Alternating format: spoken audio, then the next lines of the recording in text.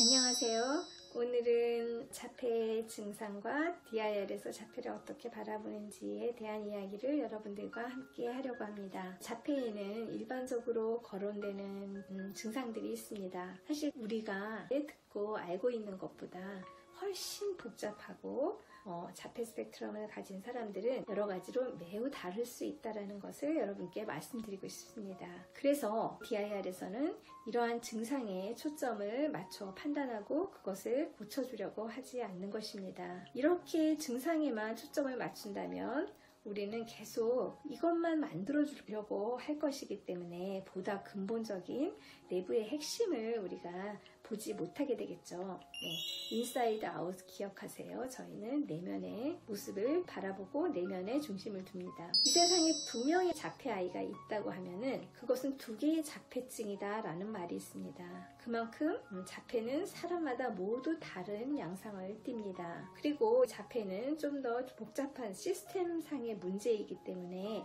한 가지 방법으로는 절대 해결되지 않습니다. 복잡하고 다양한 분석을 가지고 아이마다 사람마다의 어떤 특별한 프로파일에 의거해서 접근을 해야 합니다. DIR이 자폐 스펙트럼 치료에 매우 효과적이고 또 성과를 내고 있는 이유가 바로 이것이라고 생각합니다. 오직 DIR에서만 사람들의 개개인의 복잡한 프로파일을 받아들이고 있기 때문이라고 생각합니다. 요즘에는 자폐 스펙트럼은 DSM-5라는 진단 체계에 의해서 진단을 하게 됩니다. 이것은 2013년에 미국 정신의학회에서 만든 진단 분류 체계인데요. 오래됐죠. 그래서 새로운 진단 분류 체계가 나올 수도 있을 것 같습니다. 어쨌든 여기서 보면 자폐 스펙트럼은 신경 발달 장애군의 하나로 분류되어 있고 이 발달 장애군 안에는 자폐 스펙트럼 장애, 의사소통 장애, 지적 장애, 주의력 결핍, 과잉 행동 장애, 운동 장애 등이 있습니다. 자, 여기서 보면 자폐 스펙트럼 장애는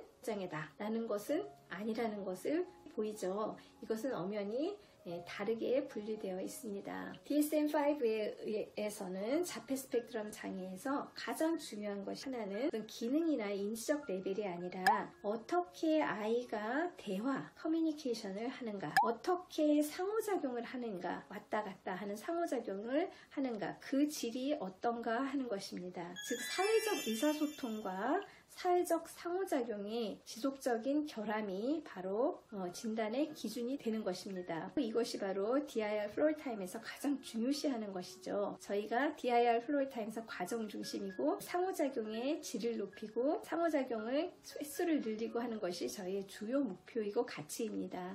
대화 속에서 또는 관계 안에서 얼마나 상호작용이 일어나는가 하는 그 과정이 DIR에서 가장 중요하죠. 그래서 DIR은 이러한 핵심적인 결손을 치료하고 또 그것에 관여해서 이 부분을 발달시키는데 가장 적합한 접근 방식이라고 할 수 있습니다. 또 하나 자폐 스펙트럼 장애의 진단을 우리가 할 수 있는 기준 중에서 반복적인 행동이나 감각 처리 이상, 즉 이상 행동 또는 제한적인 관심이나 어떤 제한적인 행동들이 있습니다. 그런데 이것들은 대부분 감각 이상에서 나타나는 그 행동 양식이고 외부로 나타나는 것이지만 실제로는 감각 체계 내부의 원인이 있는 것입니다. 그래서 자폐를 규정 짓는 것들이 대부분이 밖에서 보여지는 현상인데 감각 처리는 좀 더 내부에서 일어나는 것이죠.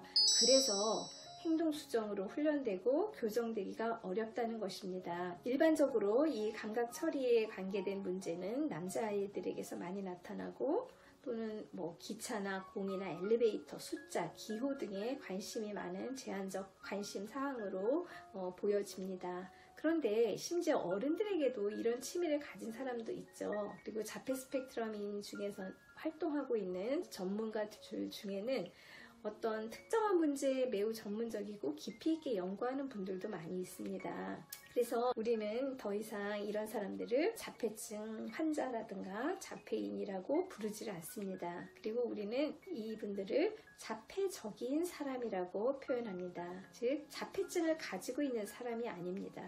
자폐적인 사람이라는 용어를 저희는 사용합니다. 자폐에 대한 인식도 이제는 많이 바뀌었고 지금도 인식 개선이 일어나고 있습니다. 어, 여러분 부모님들이 아이가 자폐 스펙트럼 장애 범, 범주에 의심이 되거나 또는 진단을 받으셨다면 그것을 가지고 아 이것은 당장 고쳐져야 되는 거야. 아니면 이것은 인생의 끝이야 라고는 절대 생각하시지 않았으면 좋겠습니다. 이런 사람 저런 사람 이런 걸 좋아하는 사람이 있듯이 자폐적인 사람 또는 자폐적이지 않은 사람이 있는 것입니다. 그래서 아이들을 바꾸려고 하시지 말고 그 자폐적인 특성을 이해하고 존중하는 가운데 아이가 인생의 스스로의 삶에 예, 홀로 설 수 있도록 도와주시는 것이 더 중요한 자세라고 할 수 있을 것 같습니다.